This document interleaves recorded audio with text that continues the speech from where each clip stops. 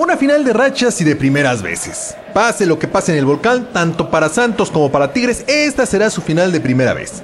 De primera vez porque felinos y guerreros nunca se habían encontrado en dicha instancia. De primera vez porque Tigres nunca se ha coronado en Monterrey. Y es que los dos títulos de los felinos, el último hace prácticamente 30 años, los consiguió en la capital mexicana ante Pumas en 1977 y contra Atlante en 1981.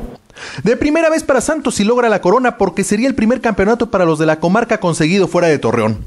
Final de rachas porque Tigres presume defensa infranqueable.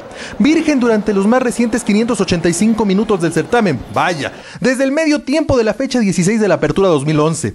De rachas que se pueden quebrar. ¿Quién fue el último equipo que le marcó gol a Tigres en el torneo? Santos en el minuto 45 de la fecha 16. Final que Tigres tiene con media copa en la bolsa. Final en la que empatar el global para Santos no parece imposible, aunque los números sí hablen de que un triunfo de guerreros por dos tantos se antoje poco menos que imposible. Y es que los albiverdes solo han vencido a Tigres por dos goles en el volcán una vez, y de eso ya hace 17 años, el 29 de enero de 1994 para ser exactos. Final de terror para cualquiera que salga perdedor. Para Tigres sería prolongar una interminable maldición de más de tres décadas. Para Santos, un viejo fantasma azul, el de eterno subcampeón.